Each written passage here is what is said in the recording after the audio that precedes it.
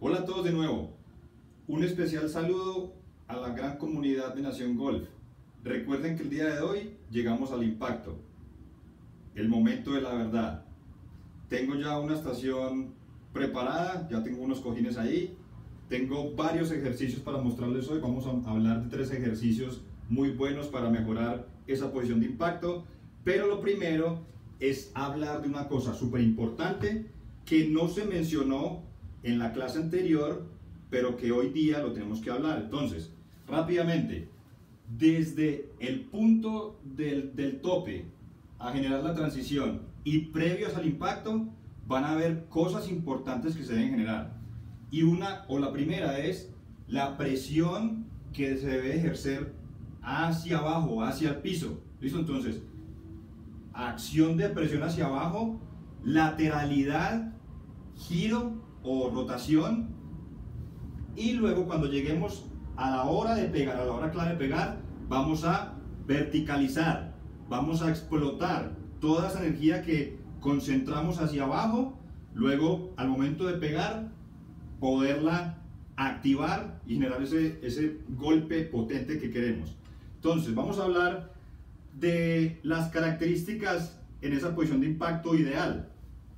Voy a repetir una o replicar una posición de impacto ideal. Entonces, importantes, aspectos importantes. Peso del cuerpo, 80% sobre el pie izquierdo. El pie derecho, el talón debe liderar la punta. Ojalá nunca hacer este movimiento. Esto no es un movimiento de poder. Seguimos entonces. La lateralidad, el giro, ojalá la cabeza detrás de la pelota con el driver o muy con la pelota centrada con los hierros llegamos primero con las manos y luego con la cara del palo. Nunca la cara del palo debe llegar primero, porque entonces se genera esto que es el scooping, y eso no lo queremos para el impacto. Llegamos acá, y ojalá una mano izquierda muy plana, o si no, en flexión, porque esto nos va a ayudar a comprimir la pelota. Entonces, los ejercicios claramente estoy que me pego ya. Vamos a coger un bate de béisbol, tengo ya mis cojines allí, me preparo en mi posición ideal de arranque pues o, address position, hago un backswing bien armado, golpeo y sostengo la posición ideal de, impacto. Otra vez, armo mi, mi backswing, golpeo abajo y sostengo. Esta posición es importante sostenerla al menos por unos 2 o 3 segundos. El siguiente ejercicio, una vara de driver. Me dispongo frente a una pelota imaginaria, muy buen setup, armo mi backswing de conexión, hago mi transición y conecto la vara en el piso al menos unos 50 centímetros antes de la pelota imaginaria.